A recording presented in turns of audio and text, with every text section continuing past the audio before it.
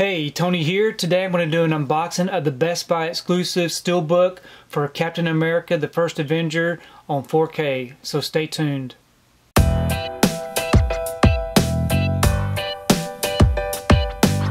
So I recently picked up the Best Buy exclusive steelbook of Captain America The First Avenger. This is the 4K release. It has a very nice cover art on the front. Um, it's got Red Skull and Agent Carter on it.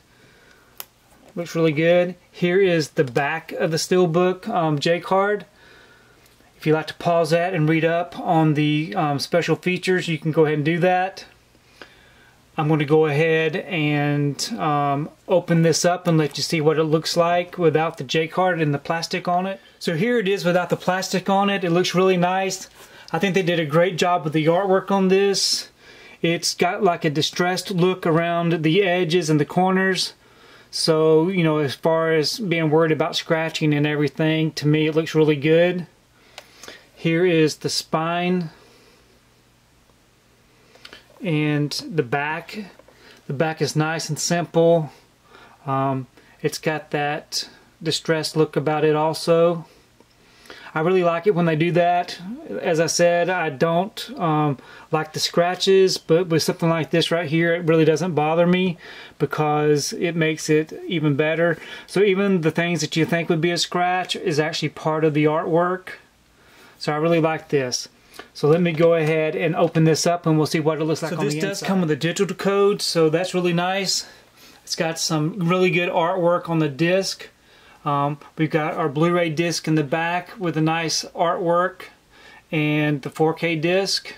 I'll go ahead and take the disc out and let you see what the inside artwork looks like. So there's the inside artwork with Captain America on it. Really looks good. And here's the disc art for the Blu-ray. And here's the disc art for the 4K.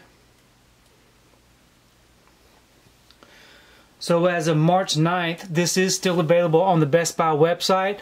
Um, I have seen a couple in the store where I go to and it's also available for I think shipping through the Best Buy website so if you want to pick this up this is the time to get it before it sells out. So here's both of the 4K releases um, side by side um, I really like the um, slip cover on the regular 4K release it goes really nice um, with the um, steelbook. I've got the steelbook placed in its protective bag. Um, I do use these protect, um, protective bags to keep my um, steelbooks from getting um, scratched and fingerprints on them. Um, if you are interested in knowing where I get my bags, I do get those from Amazon and I've got a link down below that you can check out if you like. They are a DVD size bag, but the Blu-rays and the steel books fit very nicely in them to where the flap comes over and you can tape it shut um, to keep everything um, inside protected. Please leave me a comment below. Let me know what you think about this steel book. If you were able to pick it up, what you think about the artwork. Um, I really do enjoy reading your comments.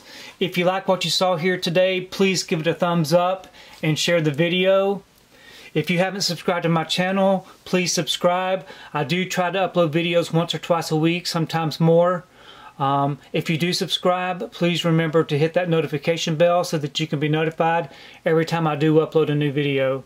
You can also find me on social media. I am on Facebook, Twitter, and on Instagram, so you can always find me there, and we will see you next time.